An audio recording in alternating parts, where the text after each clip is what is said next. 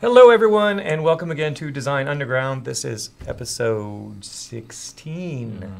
I'm Rob, Design Eponymous Irving. Phil Tittle, Blue Dog. He is our esteemed producer. Hmm, and you don't get to see him on camera very often, so No. we decided to drag him onto the show for a change. And today we're actually going to talk about something that a lot of us have been doing, but we're going to talk about some basics of Blueprint, and particularly setting up Blueprint classes and using them in the game. Yep. And we're going to use an example that you built. Yes. So you're going to get to show it off. But we'll talk a little bit about it. But let's go look at it on the computer so we can show them. Let's do. Okay, so here we are. We're looking at actual blueprints from our actual game for the first time because last time we used a fakey fake one. um, this particular one, we started as you always do. You start with a class of blueprint that you want to derive from that has some base behaviors you want. In this case, we decided we are going to make a recharge zone, and the recharge zone needs to start from Uh, trigger volume in this case. so basically something that the character, the player can overlap and get a behavior from. So we derived our class from a trigger volume and we set up this base blueprint here. This is the event graph that comes every single blueprint class that you create will have an event graph built in already and it comes with events like on begin play and on tick. Basically things that will happen frequently on every blueprint. Now in this particular case, we do we do a begin play? Yes, we do. What do we do at the beginning of the play? We're setting up a sound. Okay. And then a timer. what does And that timer do? the timer basically every X number of seconds goes and see uh, to check to see who's in my uh, trigger volume, and then should I update them? Oh, okay. So in this case, when we begin overlap, we, we set who that person is. Right. And say, hey, I'm the one in there. So then it goes to update. And I know that you set up several variables over here that are used for what it updates and how much it updates. So in this particular case, Phil set it up so that it can recharge, well, everything basically, Right. right? You had it initially, it was recharging your shields and your energy. Right. And what else? Missiles? Homing missiles, concussion missiles.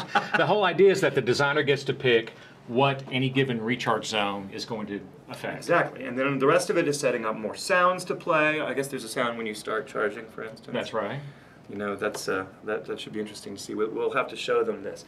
But that's, I mean, there's not much more to this blueprint. There are there's an update function that you've got in there. I don't know what that particularly does. What is your update? Well, let's take a look. Let's look at your update. Oh, look at that. Somebody's playing the game currently Right. because it's it's running the debugger. Yeah. So all this does is up, increase shield, increase uh, all the missiles and everything else. So this is the when I actually am told I'm doing something on this particular ship, it tells that ship, hey, here's all your stuff. That's correct. And all those refer to variables that we set. That's yep. So basically, that's the whole thing on this one. Uh, it's it's a pretty simple blueprint, but it does a very important function for a descent game, which is your recharge zones, which you just can't live without. So Needs more comments. So yes. yes, it does.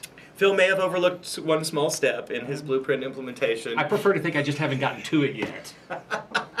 But let's let's look at it in action, shall we? All right, we're already in the game. Aren't? Oh yes, we are in the Yeah. game. So right now we don't have an effect on it. We need to add that too. That's on our to-do list. But right now it's just the green light in the middle of the screen. Not very useful. So why don't you uh, go ahead? You and want to steer me in that there. direction? I think you're steered close enough. Go All bounce right. off some walls. Let's turn up the volume just a little bit here. There we go. Someone is charging. And you can see charging the energy over here. Where did that sound come from, Phil? It came from me actually after a, a plate of enchiladas.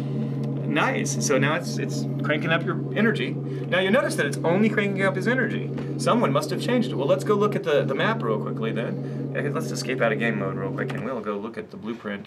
All right, so here we are back in our map, looking at the actual recharge zone as we've implemented an instance of it.